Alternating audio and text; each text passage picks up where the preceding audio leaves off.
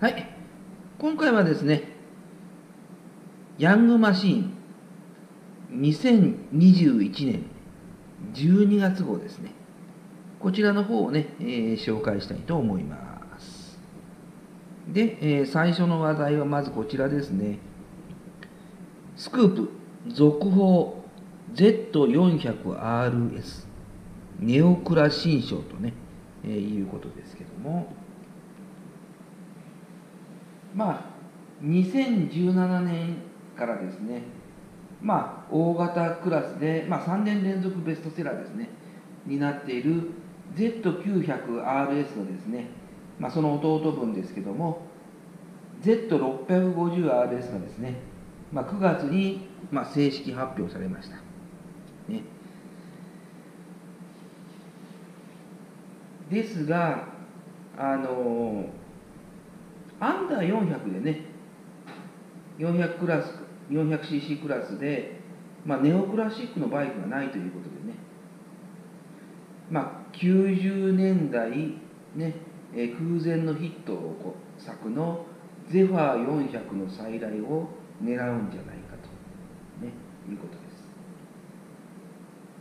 で、えーまあ、Z400 ベースをずっとね想像してきたんですけども予想予想してきたんですけども、えー Z ですね、650RS が、まあ、確実に出たということで、まあ、それを 400cc 化するっていう可能性も浮上してきました。で夢があるのがですね、まあ、ZX4R ベースっていうかねで ZX4R ベースっていうのは何かっていうと、まあ、4R ZX4R っていうのは、えーまあ、クラス唯一のですね、まあ、4気筒の ZX25R の、まあ、スケールアップ版っていうかね、まあ、400cc 版がね、えーまあ、出るんじゃないかと噂されてますね。ですのでそれをベースに、えーエンジンが400の4気筒ですよね。4気筒をベースにあの400で出るんじゃないかっていうね、えー場合もあるけれどもまあ Z650RS が、まあ、2気筒だけに、まあ、ちょっと 400cc っていう可能性は低いんじゃないかなと、ね、まあ夢はありますけどね。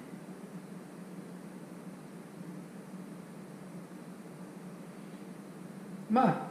あとですね、えー250のネオクラシックですね、えーは、まあ、目黒に期待したいところだなと、ね、いうことですね。で、えーまあ、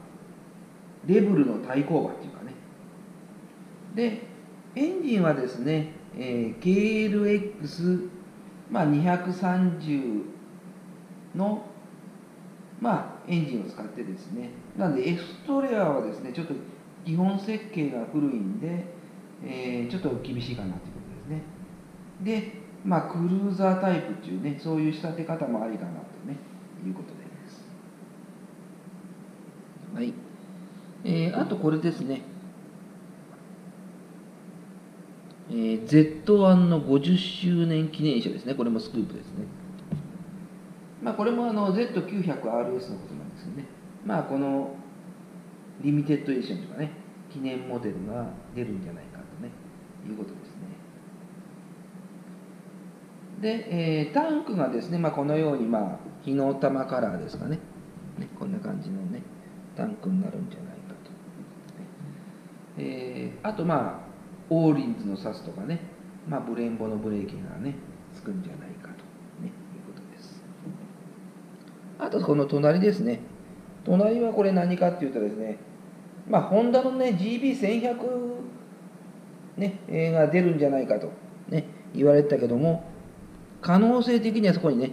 えーここにスクープ、ホーク復活かと、ね、いうことですんで、まあ、ホーク1100の可能性があるよと。ね。まあ、そっちの方が濃いじゃないかと。なんで、まあ、これはね、まあ、アフリカツインのエンジンですね。えーで、CB1100 がですね、まあ、ファイナルとなったね、まあ、後継機の役割ですね。まあ、ここにね、ちょうどね、この別冊録もね、まあ、ここにありますけどし、まあ、CB ね、1100がまあこれファイナルということでね、まあ、このファイナルブックが、まあ、付録でね、ついてましたね。で、えーまあ、東京リベンジャーズにね、登場してですね、再びね、脚光を浴びてるということですね。で、フォーク復活っていうのは、まあ、インパクトが大きいということですね。なんで、昔を懐かしむおじさんは、まあ、歓喜して、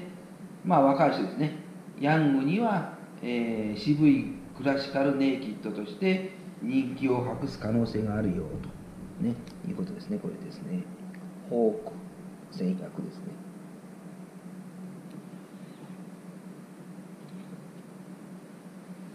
で、えー、まあ、110万円ぐらいで、まあ、来年の秋ぐらいにね、出るのを予想予想してますね。で、あとこれですね。ヤマハの XSR、XSR900 でですね。まあ、こちらがですね、まあ、初の、まあ、フルチェンジというかね、いうことですね。